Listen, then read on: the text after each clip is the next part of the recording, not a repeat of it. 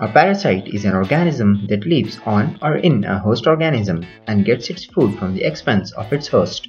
There are three main classes of parasites that can cause diseases in humans.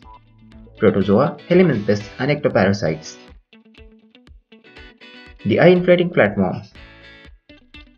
After a snail accidentally eats this flatworm's eggs, parasites develop in the gastropod's body, filling its eye stalks with sacs of larvae. The snail's stalks then look like the caterpillars, attracting the birds that the parasite needs for the next stage of its life cycle.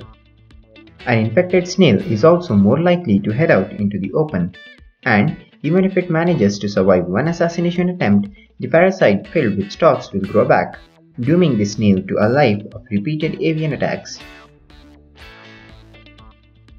The zombie wasp. This resourceful wasp preys on cockroaches, turning them into zombies to feed its young.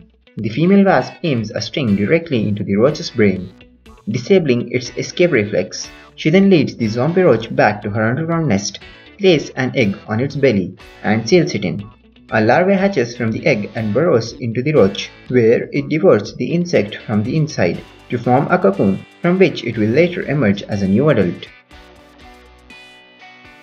The tongue-eating sea louse. The only known parasite that not only feeds on one of its host body parts, but also entirely replaces the very thing it's eaten. This gruesome sea louse makes its home inside a fish's mouth. There it feeds on blood from the tongue until the organ withers away. The parasite then attaches itself to the fish's remaining stump and feeds on blood and mucus in the mouth. It may come as some consolation to fish that it can use the louse exactly as the old tongue.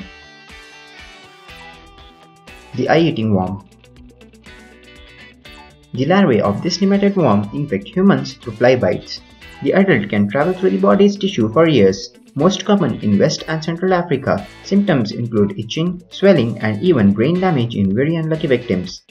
The worm only becomes obvious when it reaches the eye, where it can be easily seen and more horribly felt by the victims as it screams across the soft tissues beneath the cornea.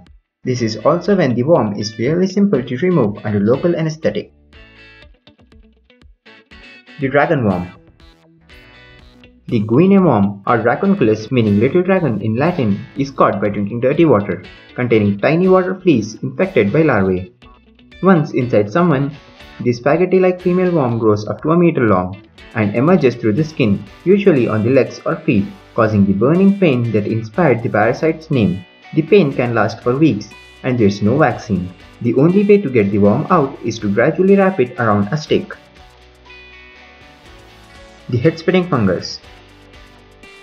Imagine something infiltrating your body, controlling your behavior, and when it's done with you, bursting out of your head. That's exactly what the head-splitting fungi do. Infected ants become disoriented and are often expelled from their colonies. The outcasts climb to the top of the nearest plant, clutch to the stem, and die. When the fungi matures, its fruiting body blooms out of the ant's head, spreading its spores in the wind to infect other hosts. The sex change bacteria.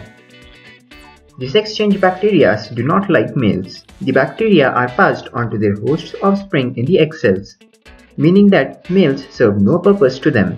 So to improve their chances, they can kill infected males or force them to change sex and can even make males completely redundant by enabling virgin births in females. But don't worry, although these sex change bacteria have been found in humans, they can only manipulate male invertebrates, such as insects and worms so far.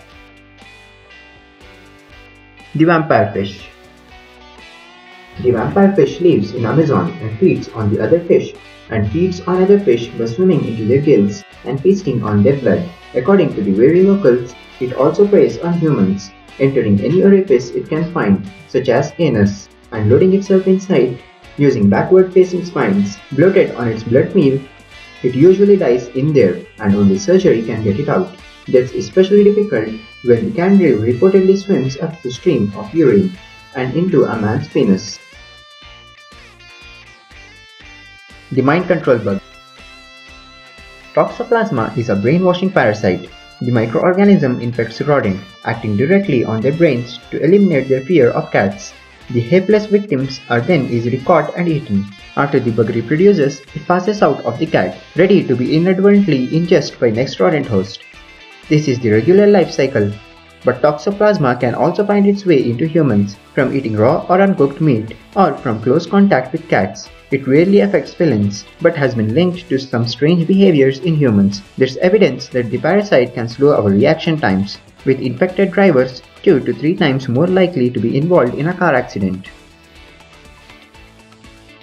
The womb hijacking barnacles. When a female barnacle finds a female crab, it slits inside at a joint and spreads feeding tubes throughout the host's body. Its reproductive system emerges where the female crab's brood pouch would be. If the host crab is male, the parasite simply manipulates his hormones to make him more feminine. Male parasites then fertilize her, turning the crab into a parasite factory.